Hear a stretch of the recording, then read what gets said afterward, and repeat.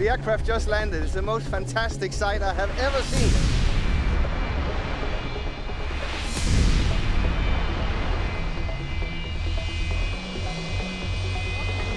I'll load it under my instruction.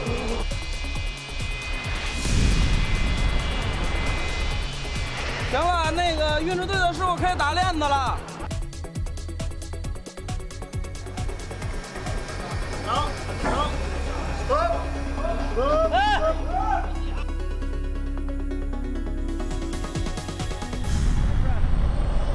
It's fantastic.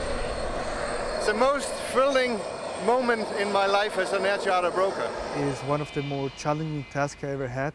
Today, we will uplift the longest piece of cargo that has ever been uplifted in the world.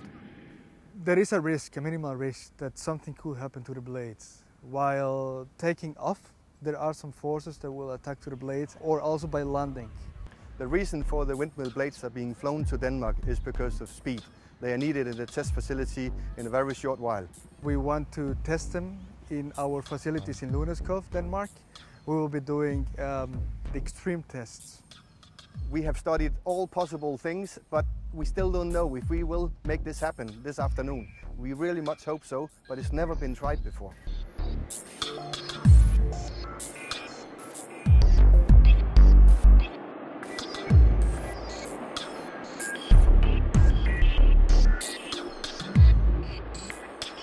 Biggest, biggest aircraft in the world and is now heading towards the end of the runway and it's, it's amazing.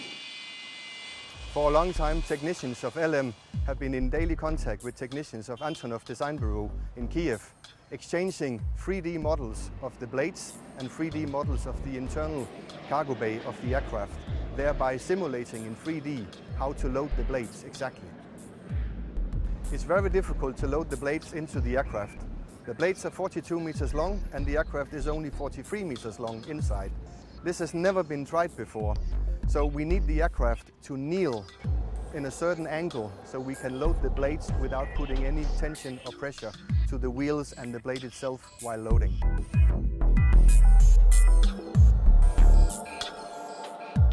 Please, the, the people, the agents, and the LM guys should step out. If we will take the truck, I'll load it under my instruction. Okay?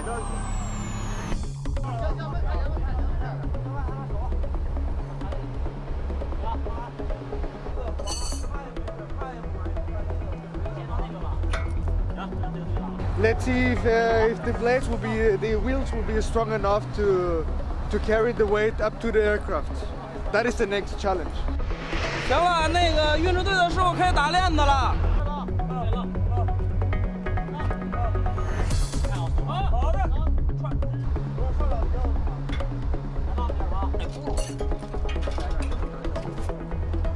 Uh, we need to lower the blade back down so it sits in the cradle and the strap there. Um, we've got some uh, some extra straps to tie around to try and strengthen it a little bit more. So you think we should use the, the, the crane? Yeah, uh, probably the easiest way we can use crane. Okay. Okay, good. Then uh, let's start doing that. it's very dangerous what's happening right now. If the if the blade doesn't move with the with the cradle, then it's going to to slip and then it will smash. So how about if we put the two cranes to hold the blade in case something happens? That will make sense? Just in case. If you take a look at the blade, it is very bulky and huge, but at the same time, uh, there are some parts that are very fragile, like the tip that is so sharp. So we have to be very careful at loading the, the blades. Just a little bit.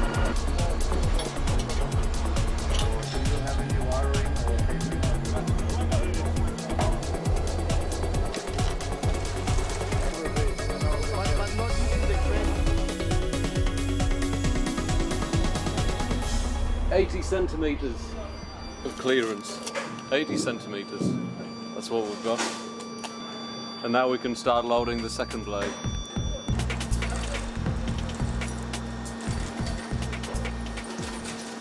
Finally, the loading has been accomplished and both blades are safely inside the aircraft and we are very happy and also very tired.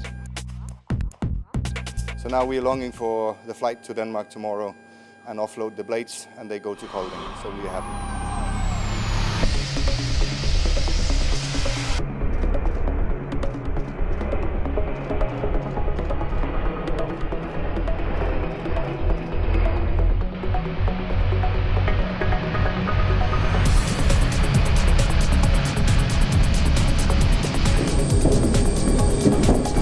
Everything looks good.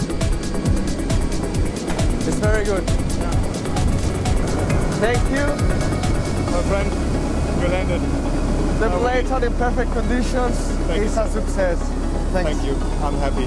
Let's get them offloaded.